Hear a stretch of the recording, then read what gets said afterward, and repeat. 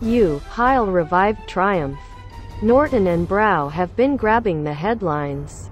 Lesser-known Ariel, revived by Simon Saunders and his small but impressive team in Somerset in 1999 have been quietly developing a motorcycling follow-up to the phenomenally successful Atom lightweight car.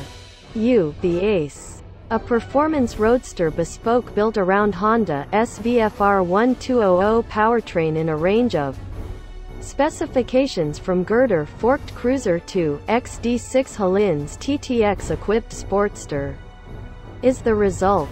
UMCN first tested the prototype in girder forked form. Last year, it rides like a Honda road bike. Sounds like a Honda moto bike. Gushed tester Michael Neeves.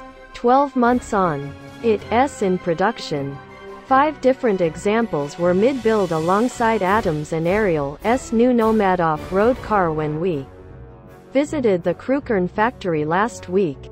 The first deliveries are U2018 imminent and bikes will be hand-built each by one dedicated technician, with a signed plaque to show for it, at the rate of one a week for the rest of the year, rising to two per week in 2016. When better, then, for MCN to find out exactly what its exclusive group of owners are going to get, and to cut straight to the chase. The Ace is hugely impressive, for three reasons. U. First, the Ariel operation, modest but modern in its handful of converted, semi-rural farm buildings, is compact and impressive in its own right.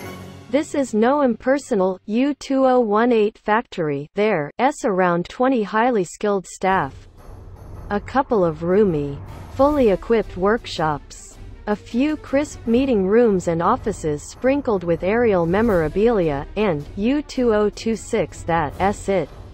Buy an Ariel and you become part of the family. It has the personal touch to match the high You, second. The Ace is motorcycling art made metal.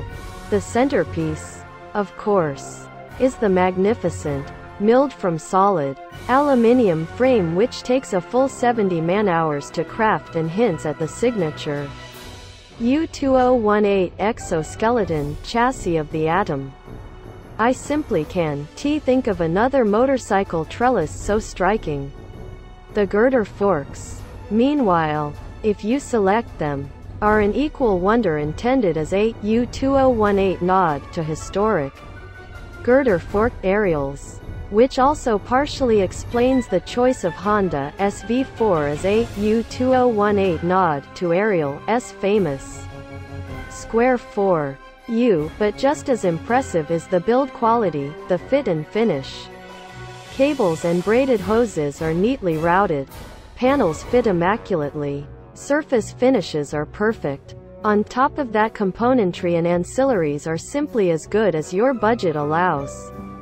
The base ACE uses mostly stock VFR,